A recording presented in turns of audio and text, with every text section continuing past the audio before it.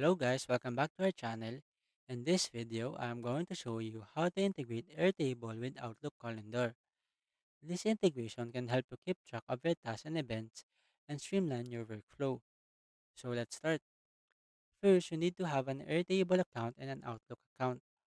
Once you have those set up, go to your Airtable base and click on your profile icon at the top right corner of the page. In this menu, click on Integrations, then connect New Account. Here, you can see several applications that you can integrate with Airtable. Look for Outlook Calendar and click on it. Next, sign into your Outlook account. After that, your Airtable account will now be integrated with your Outlook Calendar.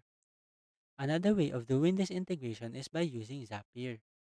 Go to zapier.com and log into your account. If you don't have an account yet, you can create one for free. Once you're logged in, click on this Create Zap button in the top left corner of the screen. Here, first you can change the name of the Zap. I'll name it Airtable with Outlook Calendar. Next, search for Airtable as your trigger app and select the trigger that you want to use. For example, you can choose New Record. This means that every time a new record is added to the table, it will trigger the integration. After that, click on Continue. Here, connect your Airtable account and select the base and table that you want to use. Then click on Continue. After that, touch your trigger to confirm that the right account is connected and that your trigger is set up correctly. Once the record was found, click Continue to proceed. Now, let's move on to Outlook Calendar. Search for Microsoft Outlook and select the action that you want to use. For example, you can choose Create Event. This means that every time a new record is created in Airtable, Zapier will automatically create a new event in your Outlook calendar.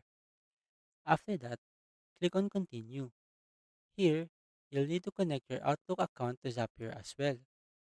Once you have connected your Outlook account, Zapier will ask you to set up the action. Simply click on the fields and select the appropriate data from Airtable. Once you're done, test the Zap to make sure it is working properly. If it is, you can now publish the Zap and turn it on. Then start automating your workflow. So that's it. If you wanted to know how to integrate Airtable with Outlook Calendar, that is the easiest way I know how. I hope you find this video helpful, and if you do, kindly give us a like and subscribe to our channel. Thank you very much and see you on the next video.